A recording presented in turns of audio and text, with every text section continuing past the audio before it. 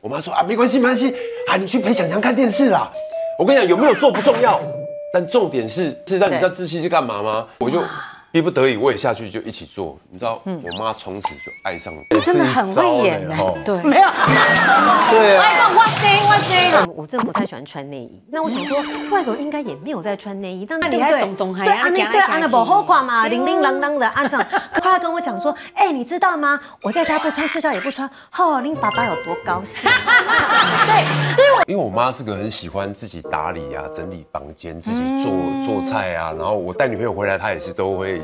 这样做做给我们吃啊什么，就常常那种，比如说我房间的垃圾桶，嗯，有时候就带女朋友回家，就是难免会有一些卫生纸会产生，对，一定有的啦，流鼻涕啊，流鼻涕，感冒，对，流鼻涕什么的，就是就流完之后哦，鼻涕喷完之后就有很多地方会有，对对，就丢丢在喷丢丢在垃圾桶垃圾桶嘛。那有时候就是哎，早上起床就想说，哎，去吃个早餐或者出门了，一出门回来尴尬了。尴尬了，垃圾桶里面的卫生纸都清完了，好干净哦，清干净。哇！你的鼻涕就这样，对，都是被妈妈给亲走。Oh my！我就跟我女朋友讲说，呃，你就我妈在忙，就让她忙就好了，你也不要就是还要帮忙什么什么切菜什么都不用，洗碗不用不用不用，因为对，我妈生两个儿子，哦，两个儿子在家里就是大爷。我妈就是弄弄吃完饭，我们也不用收什么的，所以我也习惯跟我女朋友讲说，不用了，不用，你就陪我看电视就好了。哎，完了，你这样一次，这个女朋友她以后印象就不好。嗯，我就曾经教过一个，就是我现在的老婆，她来家里之后，哇，我跟她讲这样，她她就没有，我妈在做饭，她就站在旁边，就是感觉想要帮忙，帮忙。对，这期就会想要说，嗯，我妈说啊，没关系，没关系啊，你去陪小强看电视啦。我跟你讲，有没有做不重要。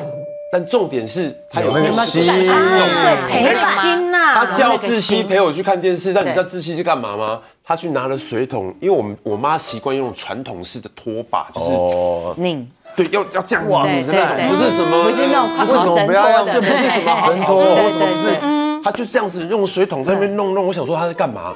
他在那边拧拖把，哇，很累，又拧不干，又拖得很湿，我就逼不得已我也下去就一起做。你知道，我妈从此就爱上了。天哪，志熙真的很会演呢。对，没有。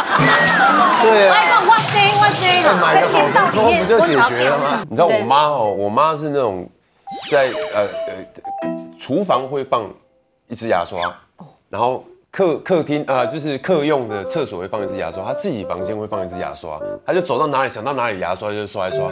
她有时候可能是厨房那支牙刷她太久没用了，有点发霉了。是。哎，那时候那时候的女朋友来家里。就我之前就是看到发霉我就丢掉，他就自己再换一支。我那时候女朋友就帮我帮我妈把那支牙刷给丢掉了。哦，她说发霉了，然后说丢掉，他就来问我，我厨房那支牙刷呢？谁丢的？我说丢掉了。我说那天那个我女朋友在打扫的时候，那发霉就丢掉了。哇，没地了。哦，不行啊，是啊。我都平常我都帮你丢掉啊，为什么不能丢掉？那我我的牙刷为什么要丢掉？哇啊！可是发霉啦，他不是外人，他会认为说是他外面的人在他没有问过，然后我妈对，那是外人。我妈帮我把我的那更衣室的衣服折得好好的，哎，我那个女朋友觉得说这样折的不好，折的不是不好看，太占空间，嘿，她就把衣服用另外一种方式，哎，真的缩缩就是省了很多空间，变得比较小块了。嗯嗯嗯，我妈不行不行。从此不帮我折衣服，有你们记着自己弄。他会觉得你干嘛？老娘弄半天，你给我在那边。其实我觉得女生的心态多多少少都会有一种。互相比较啦，那我觉得大家其实有时候当媳妇，其实我们来想一下，其实呢，这个当妈妈的心情，你看这个儿子从小他拉拔长大，照顾长大，对，他有他全部的爱，对不对？可是当另外一个女人进来的时候，其实妈妈的内心多少都会觉得说，这个女人就是要来瓜分我儿子对我的爱，所以他会有点比较心态，还是会真的就有这种柔，尤其是柔柔怀孕了以后，因为我都会扶着柔柔，你知道吗？就是下楼梯啊，上楼梯啊。那我妈就是那种这样，因为我全都，因为我前这个角色都是 对，可是我很识相，我都叫她去扶他妈妈。我说哦，我自己走就可以。我本来要扶他，我本来要扶他，不要去去扶你妈。对，我就对阿姨阿姨，你就扶前面，然后这样我就扶着我妈，我妈就很开心。是啊，对，真的会。哎，不，他脸都臭臭的。对对，我以前我对他好像脸很臭哎。我以前在家那时候也没觉得怎么，那时候就有小孩以后，老公是不是都会叫老婆叫妈妈？对对不对？有一天坐在客厅，那个前夫就说：“哎，妈妈，我才要回的时候，就看到我婆婆啊，安坐 安坐。”老公在叫你，但是我前夫是看我的，当他婆婆很开心回头想说我前夫要叫她，尴尬，后来发现不是，她说歪掉，失落了。就转过去，我想说哇完了，对，这个真的，脸后来我就。告诉他以后不要再这样叫我，嗯，就是你看那种梅梅嘎嘎，对，我们就是虽然是妈妈很好，可是我们要干嘛也都要先说，哎，妈妈冰箱有那个东西，那个我可以吃吗？对要我我是不敢自己去拿，哎，对要都要先问。对，其实做老婆的都要教老公去怎么做，对比较不会造成这三角的关系其。实我先跟大家讲说，我是跟我婆婆住在一起的。现在在台湾，对啊，很妙哈。哇哦为什么会住在一起呢？因为他的骨灰放在我们家啦。哦，是那习俗，骨灰没有放灵骨我塔。听了什么？我听了什么？所以啊，跟他说什么，他不会这么叫我想说哇塞，都好孝顺哦，爸妈都住在一起，我们相安无事呢。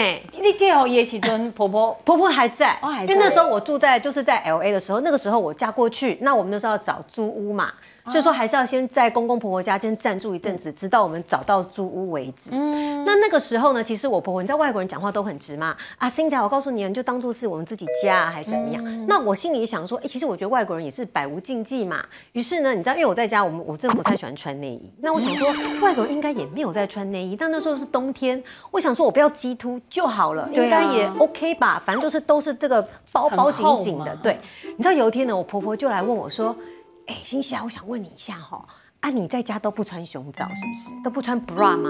我就说妈妈，难道你穿吗？她说对啊，因为我们胸部大嘛，我怕地心引力就是会让我的胸部下垂，所以说我都把它就是绑紧紧的哦，我连睡觉都绑紧紧哦，这样子。我就说那那个时候我是觉得在东方的国家，可能很多媳妇听到就会觉得说，婆婆这是在暗示我说你就是是不是？应该是要穿嘛，对啊对不对对对啊，行去那不好看嘛，零零啷啷的按上。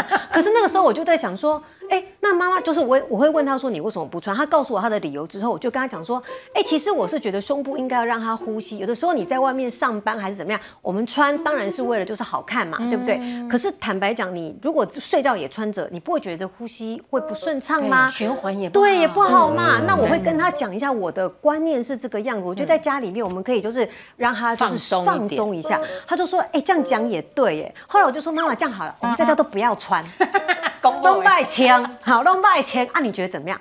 他说：“哎、那我觉得西方的婆婆他们是比较愿意去倾听，他们会知道说意见的交流是，哎、我跟你看法不一样，那我想知道你的出发点是什么。那他反而就会觉得说，哎、真的耶，那我来试试看，也不要穿好了。后来跟我讲说，哎、你知道吗？我在家不穿，睡觉也不穿，哦，林爸爸有多高兴。对，所以我觉得这就是一个很好的交流多方。便对，可是我觉得在这个台湾的社会，长辈比较会有个习性，会觉得说我就是长辈。